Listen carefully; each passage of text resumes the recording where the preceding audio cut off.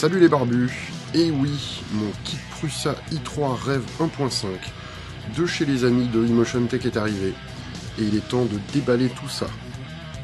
Un gros colis d'une dizaine de kilos, avec énormément de choses dedans.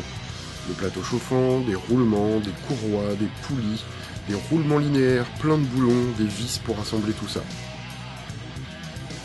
Quelques dizaines de pièces imprimées en ABS par Emotion Tech, des câbles, des ventilos, capteurs de fin de course, Arduino, shield de ramps pour les moteurs papa, le matériel pour l'extrudeur, du Capton, un espèce de scotch qui résiste aux fortes températures, et bien sûr, 5 moteurs pas à pas NEMA 17. Une grosse alimentation stabilisée, des tiges filetées, des tubes en acier, le support du plateau et enfin la structure en aluminium.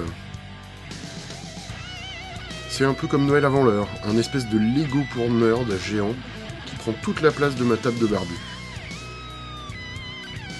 Globalement, le kit semble vraiment pas mal. Le matériel semble de bonne qualité avec quelques trucs sympas, comme les connecteurs sur les moteurs pas à pas. Les pièces en alu sont bien usinées, le tout dans le joli petit sachet pour pas perdre les écrous. Un capteur inductif pour l'axe Z, ça c'est franchement pratique. Et globalement, la Prusa est une machine fiable et pas trop difficile à monter. Un des intérêts de monter soi-même son imprimante est d'abord de comprendre comment ça marche. Se familiariser avec la mécanique, l'électronique, une façon de prendre en main le monstre et donc sous très très peu des vidéos du montage de la bête, et ensuite de l'électronique et de la mise en place, pour pouvoir vous faire plein de vidéos mortelles sur des trucs imprimés en 3D. Merci donc aux amis de Emotion Tech de m'avoir envoyé ce kit.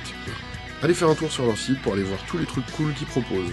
Et principalement le kit de Prusa i3 Rêve 1.5 euh, et toutes les autres choses. A très très vite donc pour le prochain épisode qui sera le montage de la Prusa